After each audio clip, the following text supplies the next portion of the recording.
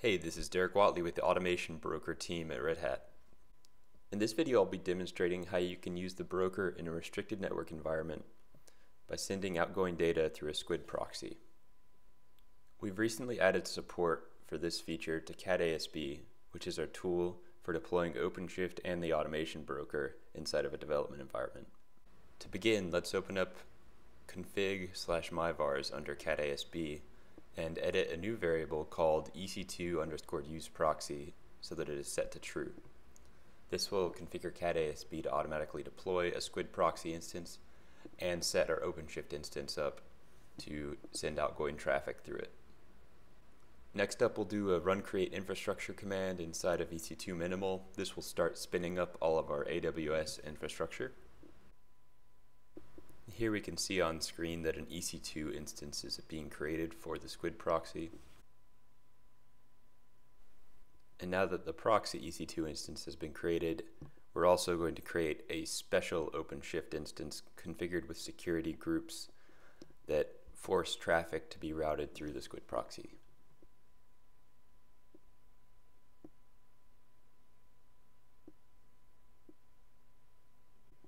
So now we have an EC2 instance for our SQUID proxy that's allowed to access the internet freely. And we also have an EC2 instance that will be the home of our OpenShift instance that is restricted to only sending outgoing traffic through the SQUID proxy. Here we can see that the SQUID proxy package is being installed on our SQUID EC2 instance. And now that that is completed, we see that the squid.conf file containing our example settings is copied over and the squid proxy is restarted.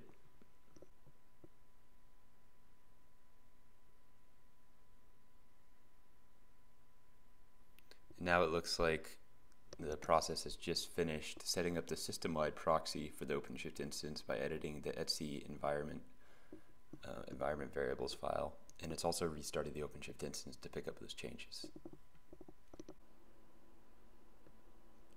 And next up, we're going to see that the Docker service is configured in etc sysconfig docker to pick up the same proxy settings. In all of these places, we're configuring the HTTP proxy, HTTPS proxy, and no proxy variables.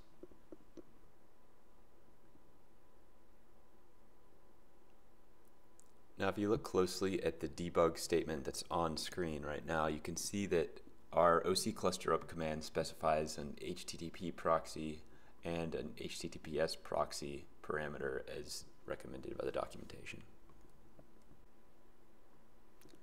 So once OC cluster up completes, you should see in this process that we're creating a broker proxy config object. You can see that in the middle of the screen right now. So essentially that is a config map inside of the automation broker project that's going to be injected into the broker's container uh, using the deployment config. You can see that we patch the broker's DC or deployment config to reference that config map.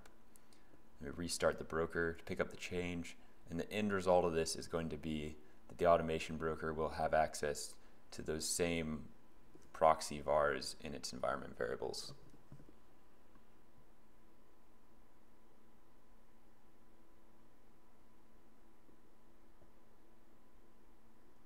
So now CAT-ASB has finished setting up our environment and we're going to take a closer look at what actually happened on the configured OpenShift instance. So now we're SSH'd into our OpenShift EC2 instance and I'm taking a look at some of the proxy settings that we have in our environment variables.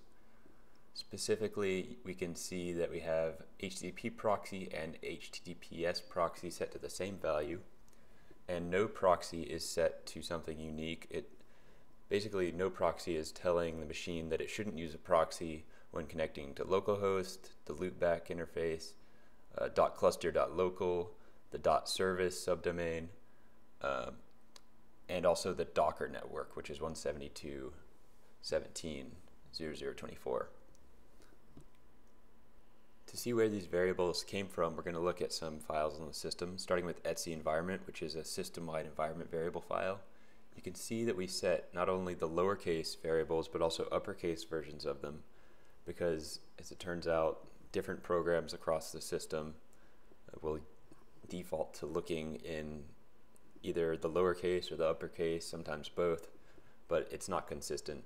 So it's safest to have both of those set. And the next file we're going to look at is our etc sysconfig docker file, which contains docker daemon configuration. And we also have to set our proxy values here. However, you only have to use uppercase for these values because Docker looks at the uppercase version. So now we're going to go ahead and take a look at our OC project command. It says that we're on the Ansible Service Broker project. We're going to get the config maps available in this project, and we see that there's one called broker proxy config corresponding with what we saw in the Ansible playbook earlier when we were setting up our environment. Let's take a look at this config map. We see that it contains HTTP proxy, HTTPS proxy, and no proxy values as we've been accustomed to seeing. And if we look at the deployment config for ASB, we see that in this file we have defined an env from value on our container for ASB. And this is under that you have a config map reference pointing at the broker proxy config. So it's actually pulling in all the values from that config map and inserting them as environment variables on the broker's container.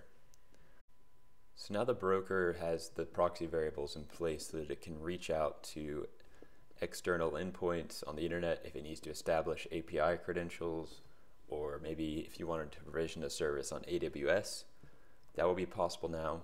But let's say you want your application that you deploy with the automation broker to be able to access the internet on its own.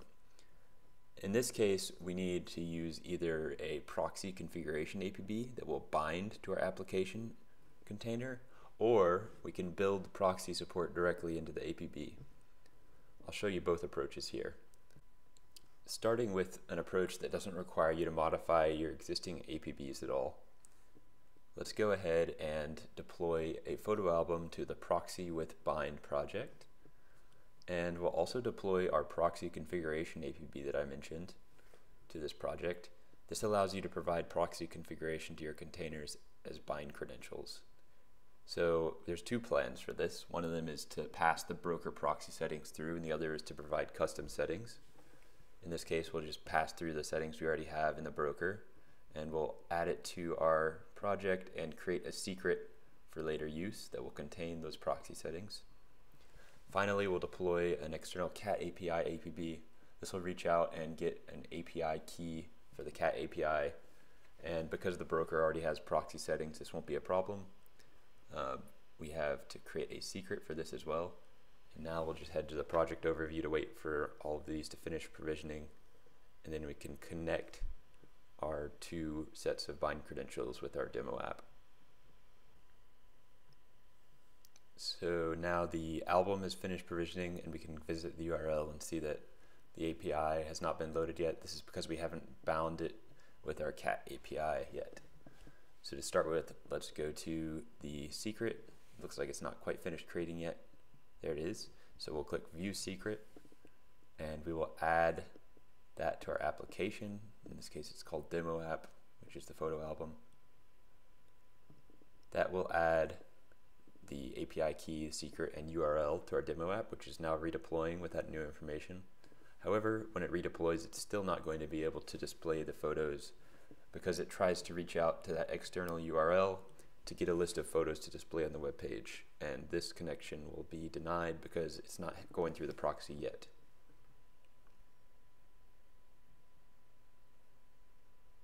So it looks like the second revision of the app just started up and we're going to take a look again at the random album URL and see if it has the API key.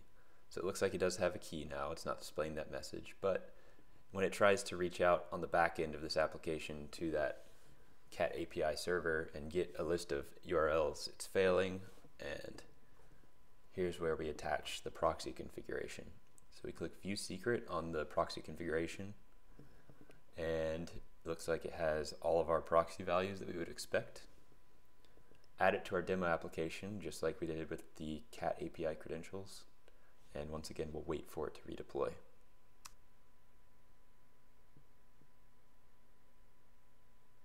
Looks like it's just about ready, so we'll refresh our demo app one more time. And this time we see a bunch of pictures of cats as expected, and we can be confident that our app is using the proxy information we provided to connect to the internet. So that was nice in cases where you don't want to modify your app, but it does add an extra step of needing to bind. The other approach is if you modify your APB to include a setting that will either pass proxy settings through or let you define them, then you can skip the step of needing to run that extra bind. So I'm doing the same thing here in a second project called proxy built-in. Notice I'm following the same exact steps, just leaving out the step of creating the proxy configuration APB. The cat API in the second project is just finished with creating its binding. So we'll view the secret here. You can see the API key is created and we're going to add that to our demo app.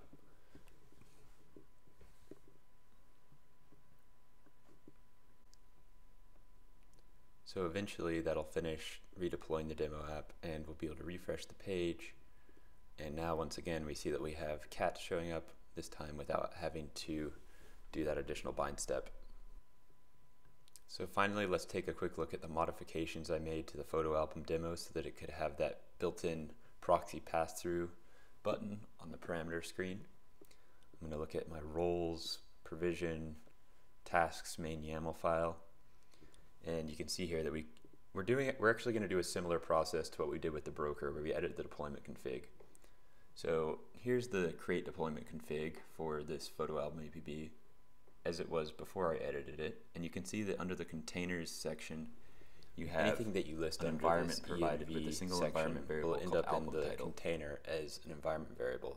So we really just want to add those same few uh, proxy environment variables that we've been adding everywhere else and to accomplish this, we're going to edit this deployment config by creating a secondary config map and injecting it into this container section using that same env from